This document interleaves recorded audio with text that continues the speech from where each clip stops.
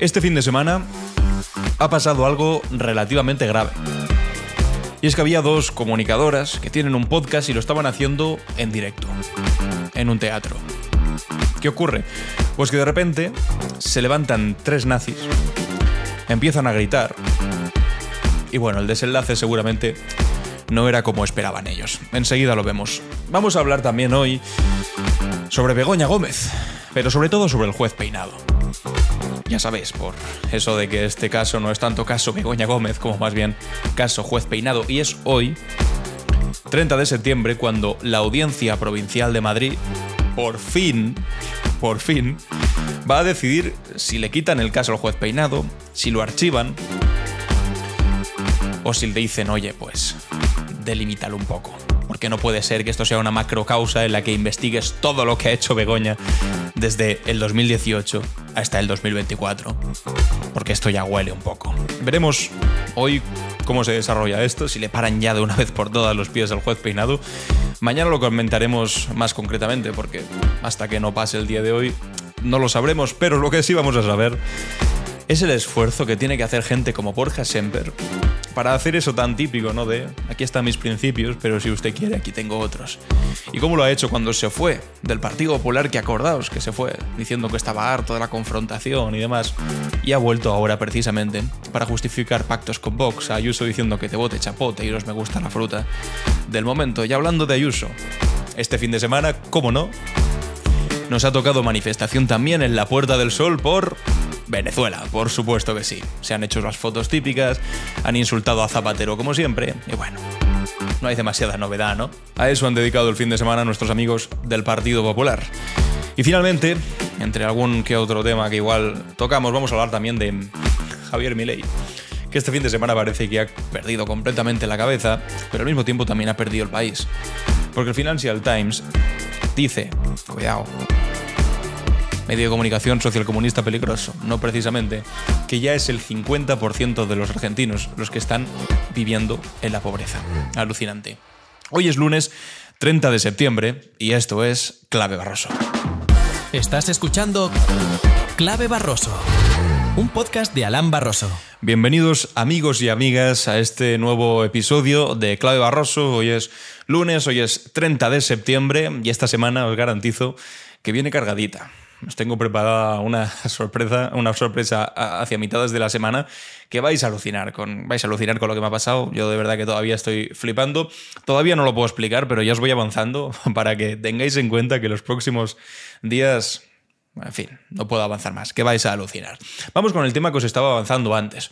Lo que ha ocurrido este fin de semana en la grabación de un podcast de dos comunicadoras, de Samantha Hudson y también de María Barrier, que tienen un podcast que se llama Bimboficadas, en fin, un podcast pues desde una perspectiva así un poco más de izquierda, yo tampoco lo he visto demasiado, he visto algún clip, está bien, es gracioso como de humor, pero resulta que hay algunos que no les hacía demasiada gracia, que son concretamente a esta agrupación que se llama Núcleo Nacional, que surgieron al calor de aquellas protestas que hubo durante bastantes meses, sobre todo en noviembre, en Ferraz, a raíz de la investidura de nuevo de Pedro Sánchez. Ahí pues generaron un grupo que se llamaba Noviembre Nacional y a partir de ahí pues se crearon grupúsculos todavía más radicalizados en las que directamente defienden ideas nacionalsocialistas. Es decir, bueno, hoy precisamente es bastante importante hablar de esto con la victoria histórica que ha tenido la extrema derecha en Austria. Por primera vez desde la Segunda Guerra Mundial, alucinante. En clave internacional lo analizamos. Pero resulta que esta agrupación, eh, básicamente neonazi, ha subido el siguiente vídeo a sus redes sociales. Ponen así, jóvenes de núcleo nacional ponen a bailar a una sala de sojas estrogenados y a un hombre con peluca. Somos mejores, pasamos y pasaremos. ¿Qué hay en el vídeo?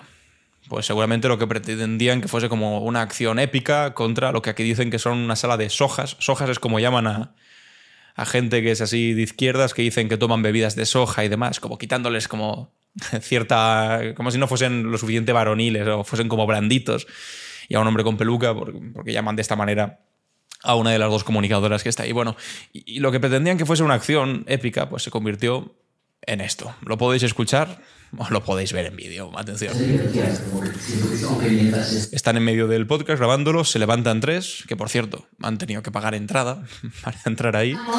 Llevan eh, capuchas, van encapuchados excepto uno. Pegando gritos, dicen Samantha, Samantha. ¿Cuál es tu opinión acerca de tus comentarios pedófilos? Como este. En mitad de la calle Mallorca, Empiezan a hablar tres segundos y rápidamente cuando ya empiezan a amedrentar y a vertir bueno, sus infamias sobre las personas que están ahí haciendo el podcast, viene la reacción de toda la gente que estaba ahí y también fijaos muy bien de una de las dos, de María concretamente, cómo se levanta.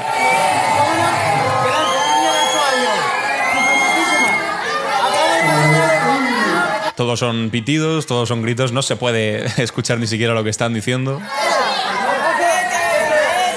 Como veis van encapuchados o por lo menos llevan la cara tapada. Siguen los gritos, no se escucha nada de lo que dicen, o sea, una acción bastante fallida por su parte.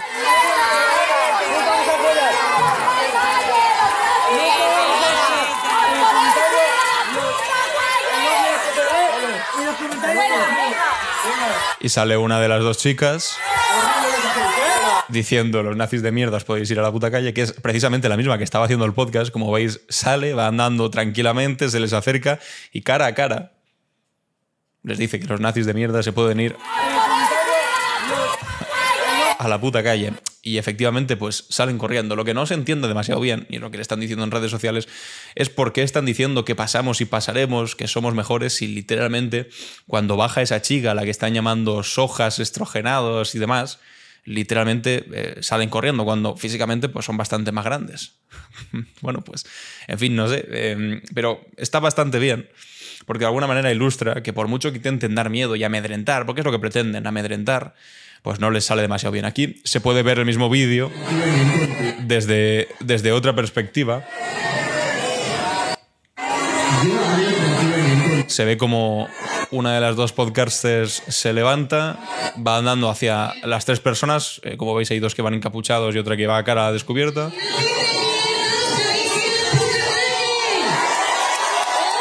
Y todo el mundo aplaudiendo gritando.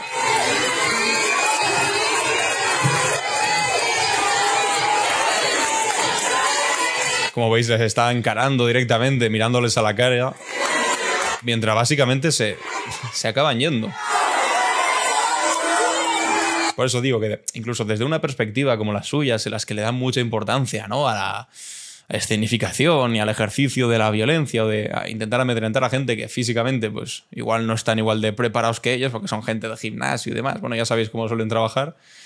En este caso, pues no le salió, no le salió nada bien. Lo curioso es que lo reivindiquen como algo, como algo, como algo interesante.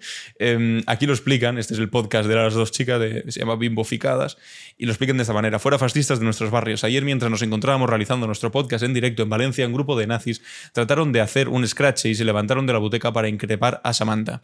Estas personas pertenecen a una agrupación fascista que presumía de lo sucedido en sus redes sociales, donde además de instigar a sus seguidores a ejercer violencia contra nosotros y publicar un sinfín de amenazas, colgaban un vídeo de los acontecimientos con el caption, con el, texto, pasamos y pasaremos. Habéis pasado, sí, comprando las entradas. y todo para soltar cuatro estupideces y que una chica rubia de 24 años os eche del teatro. Sin embargo, a pesar de que este haya sido un espectáculo bochornoso y más trascendencia, os pedimos a todas nuestras seguidoras que tengáis cuidado, que os protejáis y sobre todo que os colectivicéis, no pasarán. Bueno, pues esto ha sido como el evento tanto ridículo de este fin de semana. Vamos con lo que va a pasar con el juez peinado. Como os decía, hoy es 30 de septiembre, por fin, después de no sé cuánto tiempo llevamos con esta tontería. Llevamos meses y meses y meses de persecución, de hablar de Begoña Gómez, cuando se les acabó el tema Coldo, porque ya no, pensaba, pensaban que el tema Coldo bah, iba a ser lo definitivo, bueno, eh, rápidamente lo echaron del Partido Socialista, al, ministro, al exministro eh, de Transportes eh, también lo suspendieron de, de militancia y, bueno, pues básicamente en todas las comisiones de investigación que crearon, pues no salió adelante absolutamente nada. Bueno, pues entonces les vino a salvar el juez Peinado. El juez Peinado aceptó al, al trámite una querella puesta por manos limpias, lo resumo rápidamente porque lo hemos explicado en mil ocasiones. Una querella de manos limpias basada en recortes de prensa, entre los cuales incluía aquella nefasta noticia, infame noticia de The Objective que confundía a la mujer del presidente del gobierno con otra señora de Cantabria que, o oh casualidad, se llamaban igual, Begoña Gómez. ¿Será que se enteraron en aquel momento que dos personas en España se pueden pueden tener el mismo nombre y no ser la misma persona? Noticia por la que, por cierto, The Objective fue condenado a rectificar. Hay una condena en firme, una condena en firme no porque van a recurrir al Supremo y tonterías, pero hay una condena de una jueza de Madrid que ha dicho que eso es uh, falso y que tenían que rectificar. Una noticia que, por cierto, insisto, fue utilizada por el juez Peinado para admitir a trámite esa querella. Después de tantos meses, los que se inventaron primero que se había habido intermediación de Begoña para el rescate de Air Europa. Dijeron, la audiencia provincial ya lo dijo de Madrid, esto es mentira. Después inventaron cosas sobre los contratos con Barrabés porque se había puesto unas cartas encima de la mesa que habían influido no sé qué, la policía, es decir, la Guardia Civil, la OCU dijo literalmente que ahí no había absolutamente nada, que no insistiesen por ahí. Bueno, pues entonces inventaron una cosa de la Universidad Complutense y así constantemente hasta el día de hoy. Y cuando hace unas semanas la defensa de Begoña Gómez preguntó al juez Peinado, ¿pero qué es lo que investiga? ¿De qué se le acusa? Begoña Gómez dijo, bueno, se le investiga un poco por cualquier cosa que haya hecho entre el año 2018 y el 2024. Es decir, mientras su marido haya sido presidente del gobierno, lo que se conoce como una causa prospectiva, de ir a pescar a ver si encuentro algo. Una causa general, que son ilegales, según la ley. Bueno, pues hoy vamos a ver qué es lo que decía la Audiencia Provincial de Madrid, que tiene competencias para decir, para decirle al juez Peinado si le quitan el caso, si puede seguir, pero solamente en algo concreto, a ver si encuentra algo o qué narices pasa aquí. Vamos a escuchar lo que cuenta una periodista de en periódico 14, creo que se llama, eh, artículo 14, eh, que tiene algo más de información, en principio de la Audiencia Provincial de Madrid, sobre lo que podría ocurrir hoy. Vamos a escucharlo. En artículo 14 hoy, Pilar Gómez, lleváis información sobre esto. sobre Esto lo explican en la tertulia de Al Rojo Vivo en la Sexta. Posible archivo no de la causa.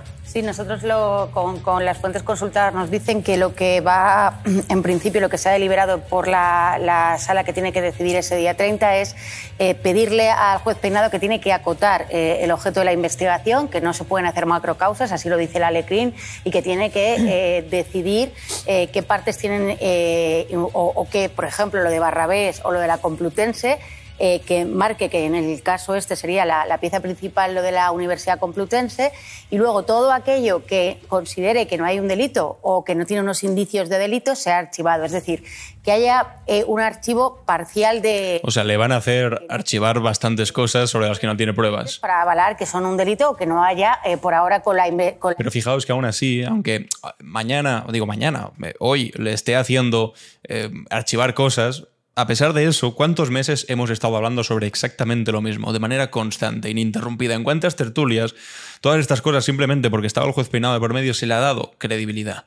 ¿En cuántas ocasiones? Bueno, la, la semana pasada vimos cómo se difundió el vídeo en el que le tomaba declaración al presidente del gobierno, al juez peinado. Y todo eso tiene consecuencias políticas, o por lo menos tiene consecuencias en tanto en cuanto lo utiliza la oposición para atizar al gobierno, para decir que todos son corruptos, olvidándose, por supuesto, ellos de lo suyo y de condenarse en firme. Pero bueno, simplemente les permitía, pues. Em, seguir con la brocha de la sospecha por encima del gobierno diciendo, no, veis que todos son iguales, lo que hace Pedro Sánchez, cuando realmente ahora la Audiencia Provincial de Madrid le va a decir, oye, todo esto me lo archivas y en todo caso te quedas con una. Y si con la una que se queda, es como estaba diciendo aquí Pilar Gómez, la que tiene que ver con la Complutense, hombre, pues apaga y vámonos, porque de el gran caso del rescate de una aerolínea a una cosa de un programa de la Universidad Complutense, de un software, que a ver también qué sacan de ahí, porque lo tienen bastante crudo, hombre, de hecho, la Universidad Complutense hace poco dijo, yo no, no tenemos nada con lo que acusar a Begoña Gómez, pero siguen investigando por si acaso, lo que se conoce literalmente como investigación prospectiva, que insisto, es ilegal. La investigación que se ha llevado a cabo, indicios de, delitos.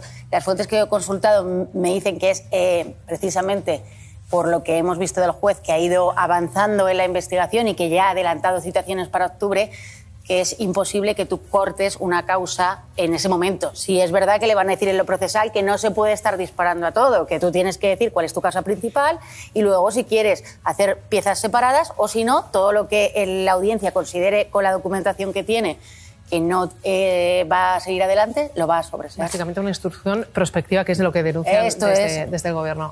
Esto es, o sea que al final sí era una investigación prospectiva. Básicamente, que lo más probable, hoy lo veremos y mañana lo confirmamos, pero lo más probable es que le acoten la investigación. No que se la quiten entera, sino que la acoten. Pero claro, ¿y todos estos meses entonces qué? Todos estos meses de infamias, de titulares, de horas y horas de tertulia, ¿quién se los devuelve? A Begoña Gómez y a Pedro Sánchez en concreto, bueno, y a los españoles en general, porque mientras ellos hablaban simplemente de esto, que ahora van a hacerle archivarlo al juez, podríamos haber estado hablando de todo tipo de temas, pero bueno, hemos estado perdiendo el tiempo, que es una cosa que parece que a la oposición de este país pues le encanta, la disfruta como nadie. Y como vamos a hablar de la oposición, vamos a hablar de Borja Semper, que estuvo el otro día en un programa de televisión española en 59 segundos que acaba de empezar y dijo lo siguiente, mucha atención. Tampoco ha sido fácil eh, coordinarse y gobernar juntos con Vox, por ejemplo. Vamos a recordar que han dejado de gobernar juntos en algunas comunidades autónomas donde también puede que les sea difícil aprobar los presupuestos sin el apoyo de Vox. ¿También entonces convocarán elecciones anticipadas? Bueno, vamos a ver qué sucede. Estoy pensando en Extremadura, Aragón, Comunidad Valenciana. El Partido Popular no gobierna con Vox en ninguna comunidad autónoma porque el Partido Popular no ha renunciado a sus principios. Y esto es todo lo que tenéis que escuchar. El Partido Popular no gobierna con Vox en ninguna comunidad autónoma porque el Partido Popular no ha renunciado a sus principios. Y yo escucho esto y me hierve la sangre. Porque no se puede ser más malditamente mentiroso. ¿Cómo que el Partido Popular no ha renunciado a sus principios? Pero si el Partido Popular, desde el primer momento en el que Feijó pisó la presidencia del Partido Popular después de que os cargaseis a Pablo Casado, lo que hizo fue pactar un gobierno de coalición metiendo dentro del gobierno, no como apoyo fuera en, el Parlamento, no, dentro del gobierno a Vox. En Castilla y León fue. Y después, en todas las comunidades autónomas donde lo necesitasteis, los metisteis dentro del gobierno. Ahora, si Vox no está dentro del gobierno, no es porque los hayáis echado. Y mucho menos es porque tengáis principios muy sólidos respecto a si se gobierna o no se gobierna con la extrema derecha. Eso es mentira. Pero una mentira además tan evidente que da esta rabia escucharla. Pero ¿cómo va a tener las santas narices, perdón por decirlo de esta manera, de atreverse a decir que ellos por principios no gobiernan con Vox. Si es que ojalá les hubiesen aplicado ese cordón sanitario que en Europa aplica a la derecha moderada a la extrema derecha. Como hacen en Francia o como hacen en Polonia, no sé, como hacen en otros países. Recientemente, además. Sin embargo, aquí somos un país curioso, con una derecha y una extrema derecha particular, pero quien se ha puesto a sí mismo el cordón sanitario no ha sido el Partido Popular, ha sido la extrema derecha. Santiago Abascal se ha puesto a sí mismo el cordón sanitario saliéndose de los gobiernos que tenía con el Partido Popular, básicamente por una simple y sencilla cosa, y es que le ha salido un nuevo competidor por la derecha, el Vice Pérez, aunque ahora esté un poco más fastidiado por el tema de los 100.000 pavos en efectivo que recibió. Pero querían básicamente poder competir con Alvise Pérez sin que Alvise les dijese vosotros sois unos vendidos que gobernáis con el PP, etcétera, etcétera, y entonces ordenó la salida de todos los gobiernos autonómicos. Pero salieron porque lo pidió el señor Abascal no por los principios del Partido Popular. Y viendo este vídeo, que me ha enfadado tanto, como creo que podéis estar viendo, me acordé, me gustaría que nos acordásemos rápida y brevemente, del señor Borja Semper. De este portavoz que le ha salido al Partido Popular desde hace poco, pero que no es hace poco que está en el Partido Popular. Es portavoz desde hace poco de nuevo. ¿Por qué? Porque Borja Semper había dejado el Partido Popular en 2020. ¿Por qué? Básicamente, aquí lo podemos leer en este titular del plural, deja el Partido Popular por su acercamiento a Vox y la dureza de Álvarez de Toledo. Aquí podemos ver otra noticia del país de aquel momento, fue en enero del 2020, en el que básicamente decía que Borja Semper saldría de la política para empezar, porque le incomodaba mucho un clima de confrontación que había en la política y en segundo lugar, que convendría prestigiar la política y que vuelva al respeto. ¿Sabéis qué pasó? Que Borja Semper volvió al frente del Partido Popular en 2023. Volvió para ser portavoz de la campaña de las elecciones, de las elecciones autonómicas y municipales. ¿Sabéis qué elecciones fueron aquellas, no? Sí. Aquellas elecciones en las que después del día de las elecciones, después, del 28 de mayo, se pactó con todos los municipios y todas las comunidades autónomas en las que se pudo con Vox. Y no solamente se pactó repartiendo presidencias de parlamentos autonómicos muy importantes, como la que se llevó el Gabriel Lesén este, que después arranca fotos de, de Aurora Picornell, de una represada del franquismo, o en Aragón, y en tantos otros sitios, no, sino que además los metieron dentro de todos los gobiernos. Y este tipo, Borja Semper, que con esa decencia impostada, decía que le incomodaba mucho el clima de confrontación y le, que, le incomodaba también el acercamiento al discurso de Vox, aquí lo pone, deja el bebé por su acercamiento a Vox, volvió precisamente para justificar cómo metían dentro del gobierno a todos y cada uno de los gobiernos autonómicos a la extrema derecha. Es una hipocresía tremenda. ¿De verdad nos quiere hacer creer que se fue en aquel momento porque había que prestigiar la política y que volviese el respeto? Pero tú sabes a qué Partido Popular te has vuelto. Para empezar, te has vuelto a un Partido Popular en el que tú dices aquí que te ibas por Álvarez de Toledo. Bueno, pues Cayetana Álvarez de Toledo ahora es portavoz adjunta. Borja Semper. Si tú te fuiste de un partido popular en el que, eh, bueno, pues decías que eh, estabas cansado del clima de la confrontación y que debía volver al respeto, has vuelto a un partido popular en el que literalmente Isabel Díaz Ayuso está todo el día diciendo que te vote chapote, mientras las víctimas de chapote le dicen que por favor deje de utilizar el nombre de chapote. O el que, por ejemplo, también Isabel Díaz Ayuso está todo el día diciendo me gusta la fruta, que es literalmente llamar hijo de al presidente del gobierno.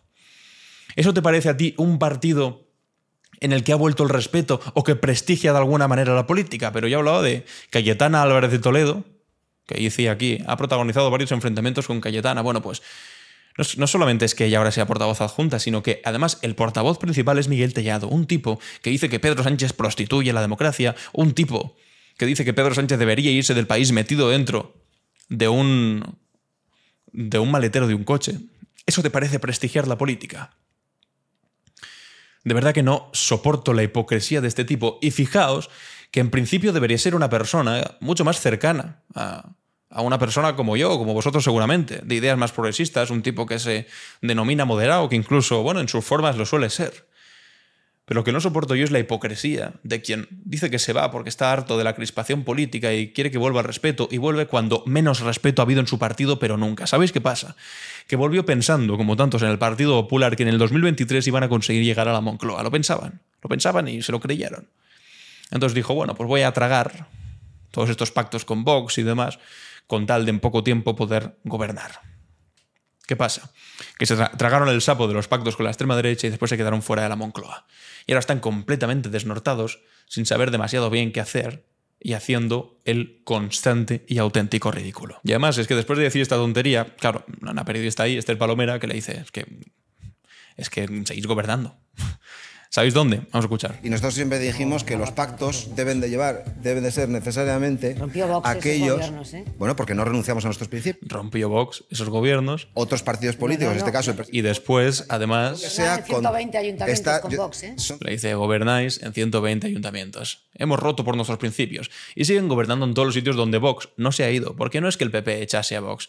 Es que Vox se ha ido de algunos sitios de las autonomías. Pero ¿en cuántos municipios siguen gobernando? Bueno, un poco más adelante resulta que también le hacen esta pregunta. Le preguntaban entre una cosa y otra. Tenía que elegir una de las dos. Y le hacen esta pregunta. ¿Pedro Sánchez o Santiago Abascal? Uf. Madre Pedro Sánchez o Santiago Abascal. mía. Eh, Ninguno de los Se dos moja, tampoco. no se ¿eh? moja no, ninguno, no es que me ¿eh? No moje. moja, es que no el otro día me preguntaron, ¿con quién te irías a cenar? Pasa el tiempo. ¿Pasa el tiempo, Pedro Sánchez o- o- con, o con Pedro? Sánchez o Santiago Abascal? Con ninguno de los dos. ¿Pedro Sánchez? Con ninguno de los dos. Ah, son igual de malos. ¿Veis? Este es el problema de la derecha, se supone moderada, de este país. Es que mientras en Francia, por ejemplo, la derecha republicana se llama los republicans, que son del Partido Popular Europeo también, como el Partido Popular Español, no solamente es que si les planteases esta pregunta tendrían claro que responder entre Le Pen y una persona de izquierdas, o una persona del Partido Socialista, pero es que la cosa va más allá. Y es que esto lo demuestran también las elecciones, porque las últimas elecciones legislativas, lo que hicieron los que eran de derechas, de los republicanos, era votar al candidato que fuese, que estuviese en contra del Frente Nacional, es decir, de Marine Le Pen, es decir, de la extrema derecha.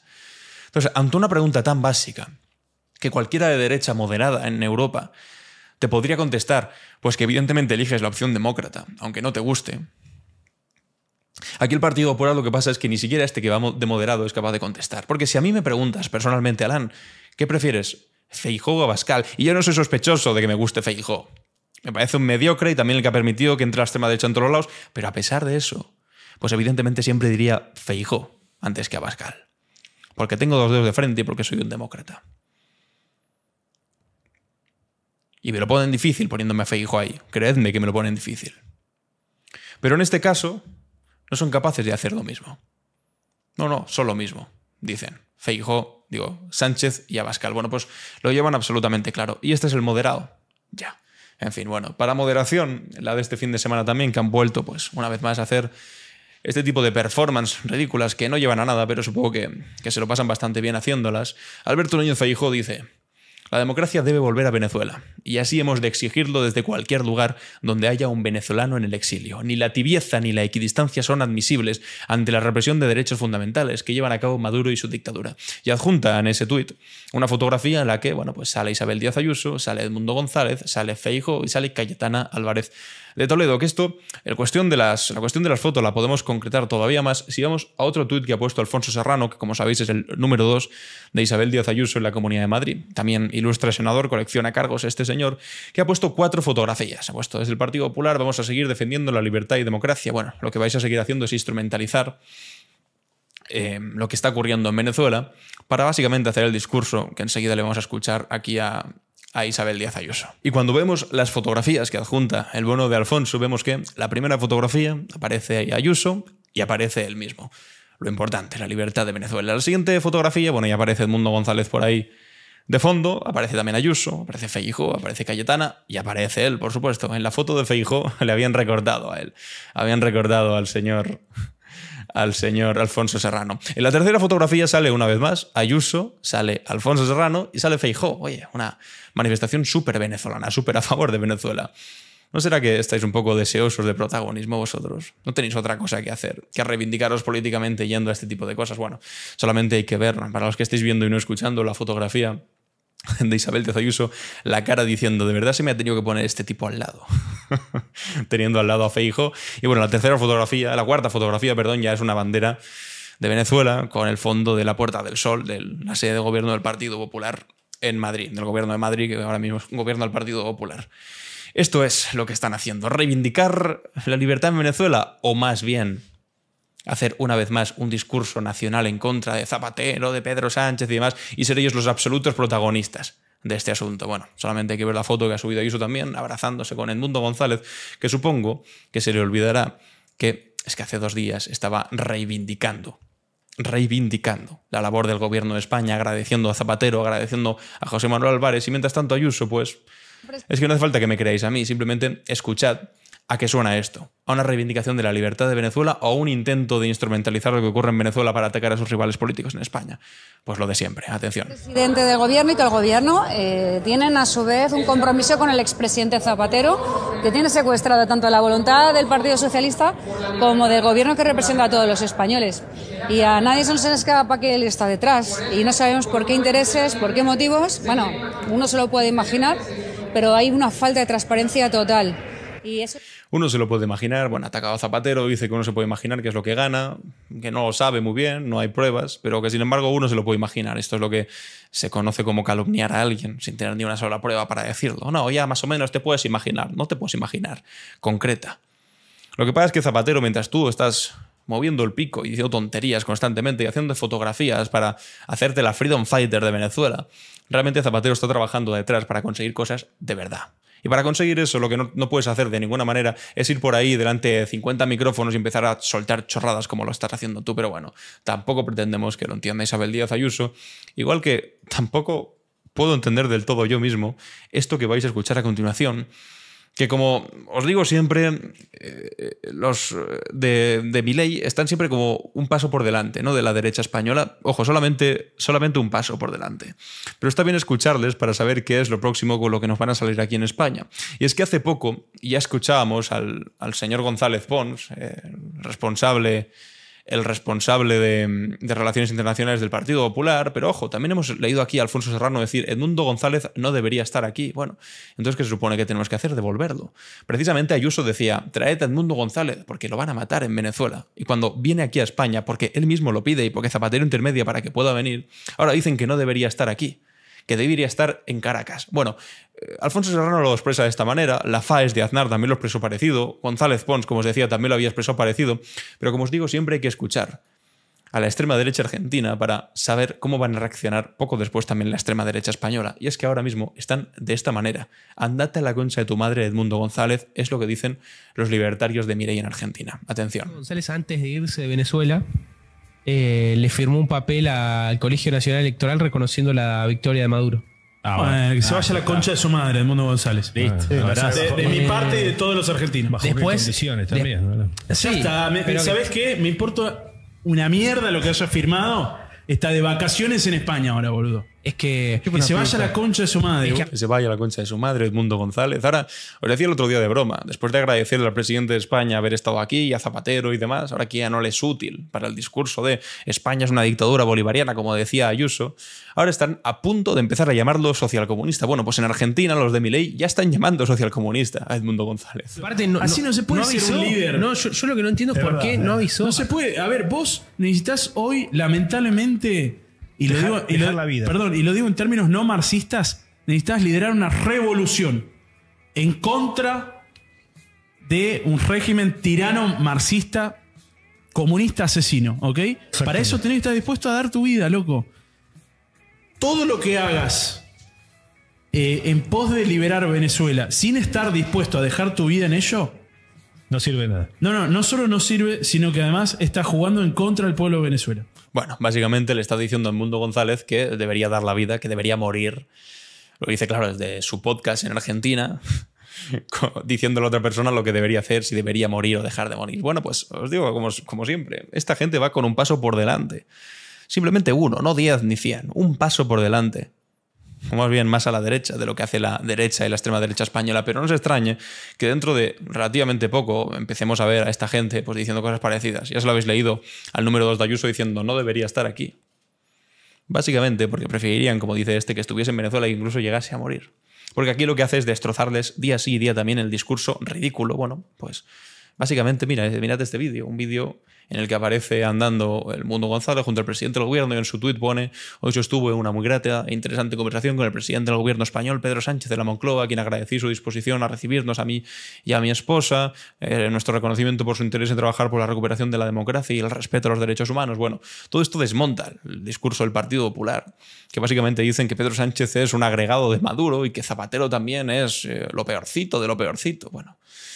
Por eso os digo que están a dos días de llamar socialcomunista a Edmundo González. Pero hablando de Argentina, que son los que nos llevan un poco la delantera en términos de extrema derecha, atención a lo que acaba de publicar el Financial Times, un periódico socialcomunista, según ellos también, supongo.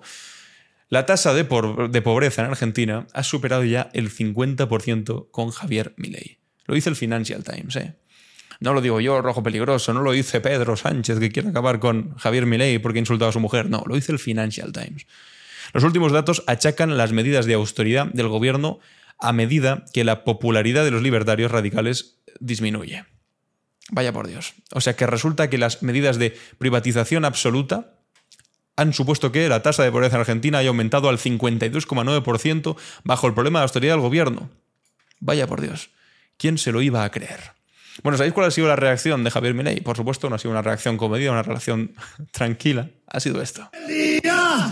Por favor, no usan de mí. Yo soy el rey de un mundo perdido. Soy el rey, te destrozaré. Toda la casta es de mi apetito. Bueno, pues ha hecho un meeting para reivindicarse a sí mismo. Aquí un Twitter argentino pone, está mal, muy mal. Ayer se conoció que más de la mitad del país es pobre y míralo al idiota este, la vergüenza que me da, boludo. Y resulta que un poco más adelante se pusieron a cantar, sus seguidores que fueron ahí a verlo, que se vayan todos. Claro, ¿qué pasa? Que gobiernan ellos.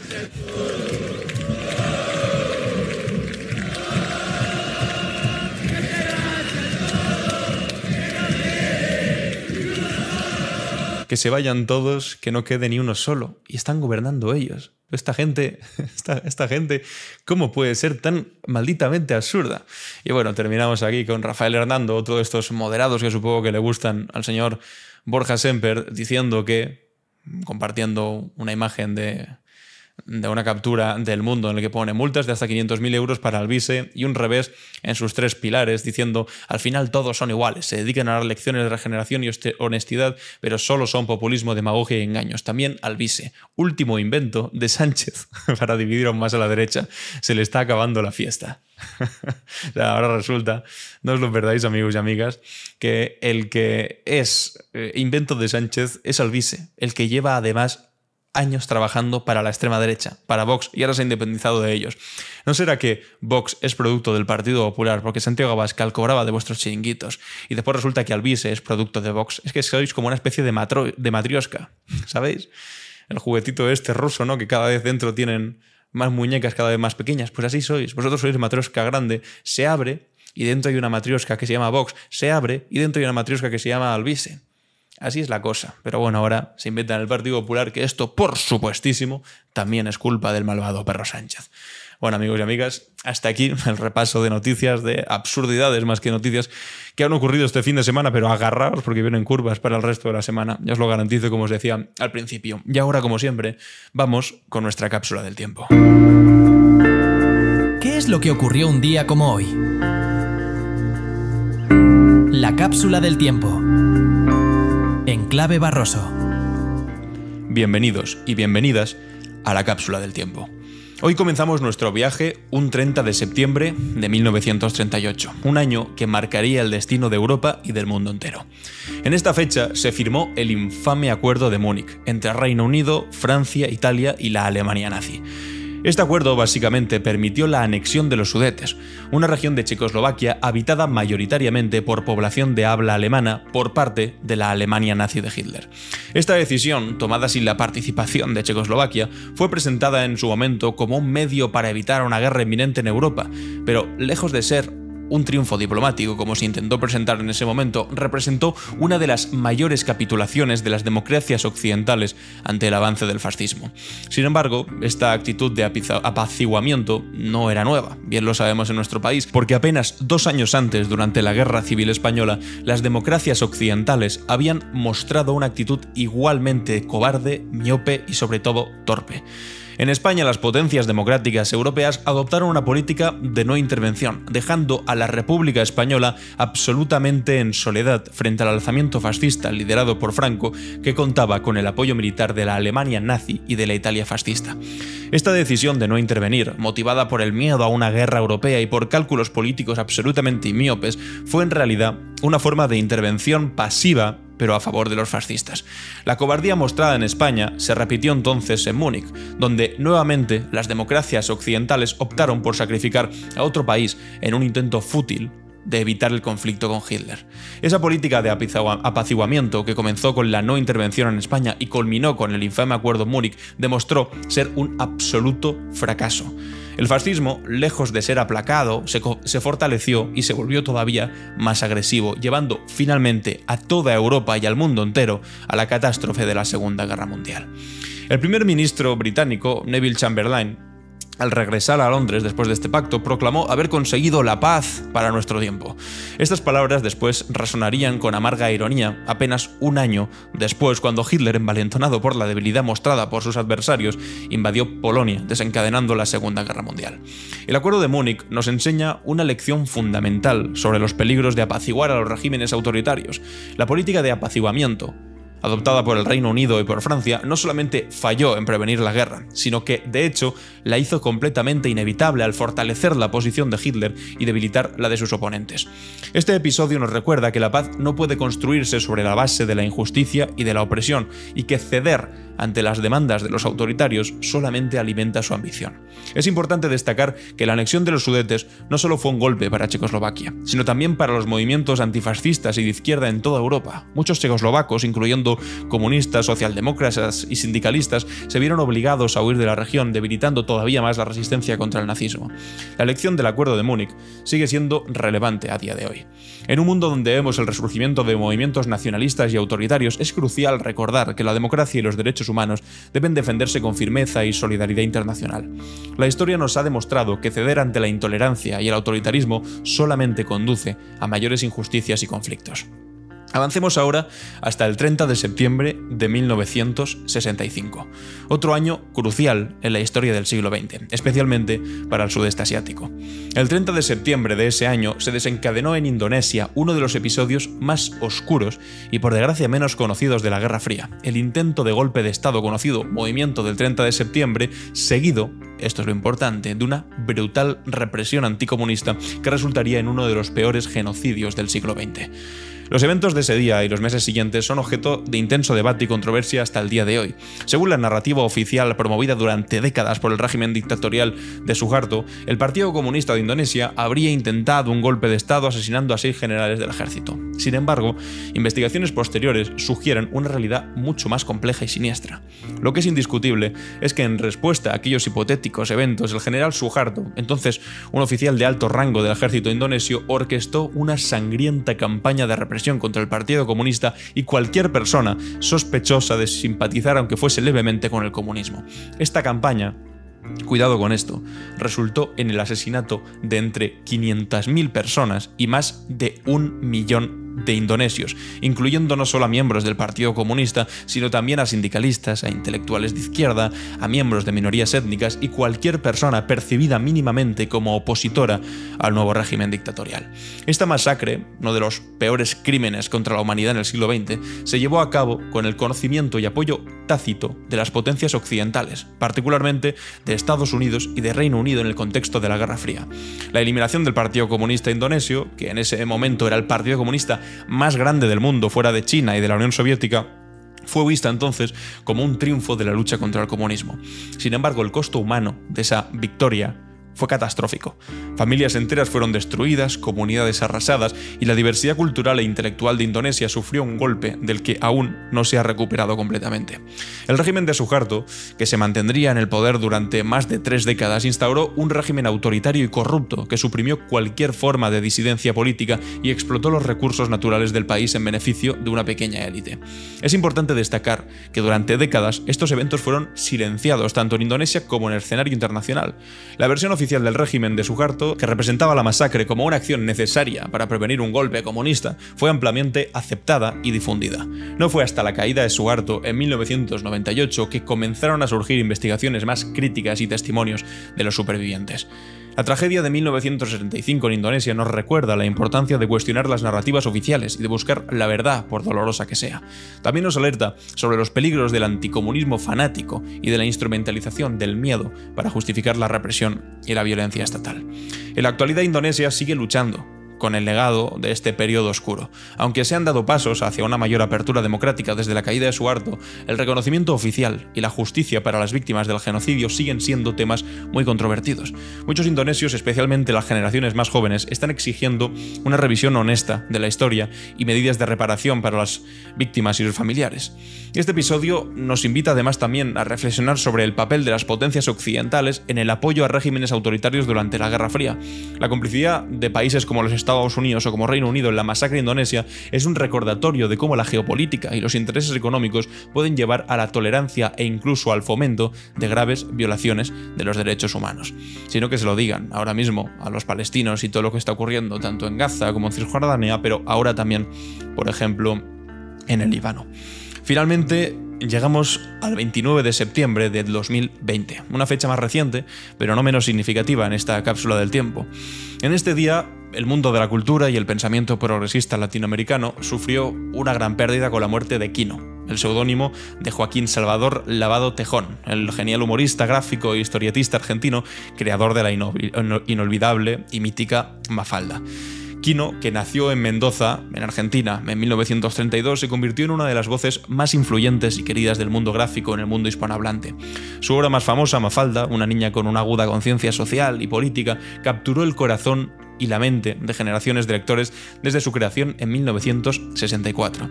A través de Mafalda y sus amigos, Quino abordó temas complejos y controvertidos con una mezcla única de humor, ternura y crítica social. La pequeña protagonista de sus tiras cómicas se convirtió en un icono de la resistencia contra el autoritarismo, el consumismo desenfrenado y las injusticias sociales. Con sus preguntas incómodas y sus observaciones agudas, Mafalda desafió el status quo y alentó a sus lectores a cuestionar el mundo que los rodeaba.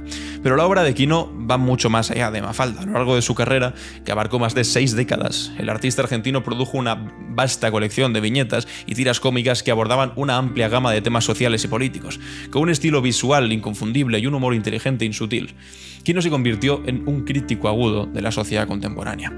Entre los temas recurrentes en la obra de Quino encontramos la crítica al poder y a los poderosos, la denuncia a la desigualdad social, la preocupación por el medio ambiente y una constante reflexión sobre la condición humana.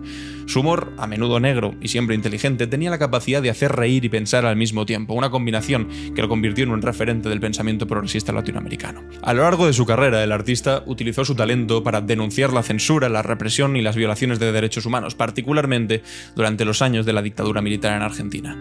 Sus viñetas silenciosas, cargadas de simbolismo y emoción, se convirtieron en poderosos actos de resistencia cultural. La influencia de Quino se extendió mucho más allá de las fronteras de Argentina y sus obras fueron traducidas a numerosos idiomas y su mensaje universal resonó con lectores por todo el mundo. Mafalda en particular se convirtió en un fenómeno global, siendo adoptada como símbolo por organizaciones sociales, organizaciones de derechos humanos en diversos países.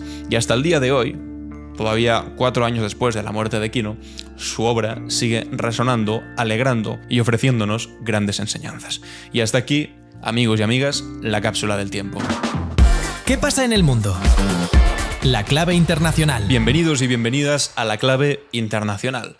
La verdad que mm, hoy es un día difícil para, para esta sección porque resulta que la ultraderecha en Austria se ha impuesto por primera vez desde la Segunda Guerra Mundial. El FPO cumple con las proyecciones y quiere convertir a su líder, Herbert Kick, en canciller federal de la República Alpina. Lo veis al candidato de la extrema derecha, no es que sea un portento físico. Pero bueno, vamos a leer la noticia. Esto lo escribe Andreu Jerez en el diario.es. Las encuestas han vuelto a acertar en un país de la Unión Europea. La ultraderecha del FPO es la fuerza más votada en las elecciones legislativas de este domingo en Austria. Con el recuento de casi el 80% de los votos al cierre de este texto, el FPO obtiene el 29% de los votos. Ya había ganado, por cierto, las elecciones europeas, así que de alguna manera tampoco es tan inesperado. Muchos esperaban que, hubiese este resultado. Avanza más de 12 puntos respecto a las últimas elecciones, no las europeas, sino las legislativas, y mejora incluso los resultados que le otorgaban las proyecciones. Y esta parte es la grave, la ultraderecha consigue así la primera victoria en unos comicios generales en Austria desde la Segunda Guerra Mundial. Esto acojona. El resultado es histórico y también supone un severo correctivo para los dos actuales partidos de gobierno. Los conservadores de OVP, del canciller federal Karl Nehammer, se quedan con el 26% de los votos y pierden más de 11 puntos, mientras sus socios menores, los verdes, obtienen un 8% de los sufragios y pierden más de 5 puntos. Conservadores y verdes se despiden así de la mayoría parlamentaria, con lo que el país, estancado económicamente y con un creciente descontento ciudadano, se ve abocado a formar gobierno diferente. Es decir, que la derecha ha caído frente a la extrema derecha por no plantarle cara con, con dureza. Vaya por Dios, que lo iba a decir. Tercero son los socialdemócratas del SPO, con un 21% de los votos, su peor resultado de la historia en unas elecciones legislativas. En cuarta posición quedan los liberales de Neos, con el 9% de los votos. Estos podrían convertirse en la clave para formar un gobierno que deje fuera a la ultraderecha. Ninguno de los partidos que en representación parlamentaria se muestra dispuesto a pactar con el líder del FPO de la extrema derecha por rechazar de frente sus posiciones antimigratorias, euroescépticas y cercanas a la democracia liberal erigida por Víctor Orbán en la vecina Hungría. Vaya por Dios. O sea que aquí la extrema derecha también le ponen un cordón sanitario. No como en España, ¿no? Que sale Borja Semper incluso justificando los pactos y diciendo que si ahora se han salido los gobiernos es por una cuestión de que tienen los principios en el Partido Popular. Ya se podrían copiar un poco los principios de otras derechas de verdad moderadas. Descontento social. La victoria del FPO es la expresión del descontento social existente en importantes capas de la población austríaca con una economía en recesión desde hace más de un año y unas perspectivas no especialmente halagüeñas. El partido de Hebert ha sabido capitalizar ese malestar y convertirse en primera fuerza por primera vez. El líder incontestable, Kik, el líder incontestable de FPO, ha hecho una campaña marcada por el radicalismo. El programa de la ultraderecha austríaca ha hecho suya la palabra remigration, remigration, remigración, introducida a la agenda política por la organización extraparlamentaria movimiento identitario y que apuesta por la expulsión del país de refugiados, peticionarios de asilo, extranjeros y también de ciudadanos con pasaporte austriaco y origen migrante. El actual FPO se sitúa, por tanto, en la línea dominante actualmente la ultraderecha de los países de habla alemana, que apuesta por sociedades homogéneas y culturalmente, una postura que raya con el neonazismo. El llamado cordón sanitario es historia en Austria desde hace décadas. Los dos grandes partidos del país, conservadores del OVP y socialdemócratas del SPD, han gobernado desde la década de los 80 en diversas legislaturas con la ultraderecha. Sin embargo, ah, o sea que ya habían gobernado con la ultraderecha en, Austria. Sin embargo, esta última siempre fue el socio menor. En caso de una nueva coalición, los conservadores con el FPO, en esta ocasión el canciller sería un ultraderechista. Teniendo en cuenta que nadie dentro del partido le hace sombra a una coalición de gobierno liderada por FPO, supondría inevitablemente que Hebert se convirtiese en el canciller federal austriaco. Es decir, habían gobernado, pero siempre teniéndolo como eh, socio menor. Vaya por Dios. Pese al resultado histórico conseguido por el FPO este domingo, todo apunta a que habrían gobiernos y los ultras. La radicalidad de Kik ha hecho que el resto de formaciones descarte pactar con su partido. Menos mal que por lo menos ahora se lo toman en serio. Insisto, ojalá se pareciese un poco a nuestro país en eso. Incluso los conservadores del canciller Nehammer, que comparte muchos puntos programáticos con el FPO, se niegan. Es el igual es el problema, ¿no? Compartir tantos puntos programáticos, porque si compartes puntos programáticos, pues igual te vas con el original en vez de con la copia. Se niegan esta vez a negociar con Kik mientras él esté al frente del partido. La cuestión que queda abierta es si la posición de Neymar se conseguirá imponer dentro del conservadurismo austriaco tras los pésimos resultados electorales del OVP este domingo. El presidente federal, el ex líder verde Alexander Van der Bellen, también se mostró en la víspera electoral en contra de un gobierno de coalición liderado por la extrema derecha. Así, las cosas, y como establece la Constitución austriaca, es más que probable que el presidente Van der Bellen encargue la formación de gobierno al actual canciller y líder del conservador OVP, a pesar de que su partido haya sido el segundo más votado. Con todo, el FPO mantiene su voluntad de liderar el futuro gobierno, nuestra mano está tendida, bla, bla, bla. Bueno, pues así están las cosas y lo preocupante, históricamente, es esto. Es que haya ganado las elecciones por primera vez desde la Segunda Guerra Mundial. Y esto además encaja también con unos muy buenos y preocupantes resultados de la extrema derecha de Alternativa por Alemania, en Alemania también y una cierta derechización dentro de las posiciones europeas y mientras vemos también unas elecciones en Estados Unidos en las que se puede, se podría llegar a reelegir al señor Donald Trump, también máximo representante de la extrema derecha mundial, que hace, bueno, tener unas perspectivas un tanto, un tanto complejas para el desarrollo de políticas que, bueno, que transiten por el sentido común, por el respeto a los derechos humanos y por un cierto, tampoco, tampoco un gigantesco, un cierto progresismo. Hasta aquí, amigos y amigas, la clave internacional y ahora vamos con las preguntas y respuestas. ¿Y tú? ¿Qué opinas? En clave Barroso. Bienvenidos y bienvenidas a ¿Y tú qué opinas? donde os planteo una pregunta y leo vuestras respuestas.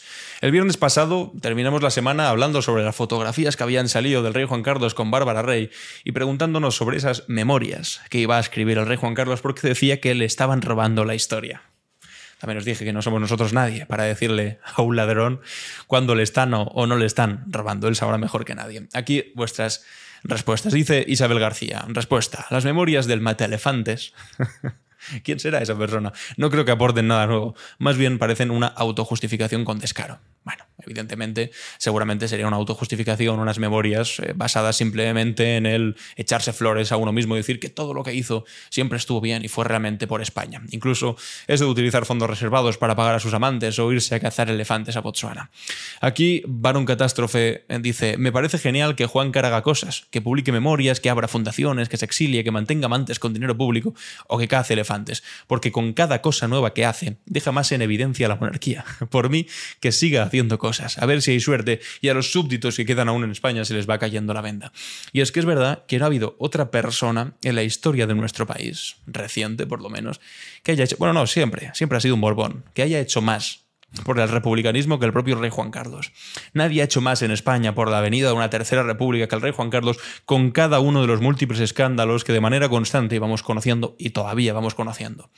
La fotografía es con Bárbara Rey, fondos reservados pagados para sus amantes, una fundación que se monta en Emiratos Árabes para regularizar allí, por supuesto no aquí, porque ya no es ciudadano fiscal español, sino que está en Emiratos Árabes para ahorrar impuestos todo su patrimonio oculto y repartido entre sus hijas. En fin. Aquí Jamie dice, ¿y si el señor Borbón dice en sus memorias que efectivamente sabía lo del 23F? Y eso es a lo que se refiere con lo de me robaron la historia, no creo que confiese nada. Es más probable que declare que tiene poderes premonitorios. Sí, la verdad que creo que es más probable la segunda opción, que no vaya a confesar absolutamente nada. No, va a decir eso, ni mucho menos. Respuesta, dice aquí Vicitur, Juan Carlos con sus memorias nos va a contar lo que quiere y por lo tanto será una interpretación de la historia a su medida. Cuando se desclasifique los documentos oficiales del Estado, seguro que la historia de este señor cambia enormemente. Gracias por todo. Seguramente nos enteraremos más por cuando se desclasifiquen que a saber cuándo ocurre eso, que por unas supuestas memorias de este señor. Y dice aquí Ana Fernández, la memoria de este señor no vale la pena. Lo importante es que devuelva lo que se robó. Imagino que alguno se podrá forrar con las memorias. Para mí es una vergüenza. Hay cosas mucho más importantes en este país para solucionar. El hijo de Bárbara Rey se habrá llevado su pellizco con esas fotos. Muchas gracias por todo, Alan. Pues sí, seguramente, sí. Y ahora me gustaría plantearos la siguiente pregunta. Y tiene que ver, no lo puedo evitar después del vídeo que hemos hecho hoy, sobre el señor Borja Semper. ¿Habéis visto cómo se fue del Partido Popular? Diciendo que no soportaba esta eh, crispación en política, quería un poco más de respeto, un poco más de tranquilidad, y ha vuelto precisamente con Isabel Díaz Ayuso, con el que te bote chapote, el me gusta la fruta, con Miguel Tellado, con Cayetana, de nuevo ahí. ¿Por qué volvió Borja Semper? ¿Y hasta cuándo va a aguantar? Porque de verdad que me parece una hipocresía tremenda cuando se fue y cuando ha venido, para justificar todos los pactos con Vox. Os leo los comentarios para ver vuestra opinión. Mañana lo leemos. Y hasta aquí, amigos y amigas, el capítulo de hoy de Clave Barroso. Ha estado bastante cargado, pero yo os he avisado que respecto a lo que os voy a contar en los próximos días, esto no es nada, porque el bochorno, de verdad, que me están haciendo pasar con algunas de las cosas que están haciendo, pues estos que se llaman defensores de la libertad de, expresión, bueno, en fin, vais a alucinar. No lo quiero adelantar todavía, ves que tengo ganas de contároslo ya de ya. Pero en fin, muchas gracias a todos y a todas por estar aquí. Yo soy Alan Barroso y esto es Clave Barroso.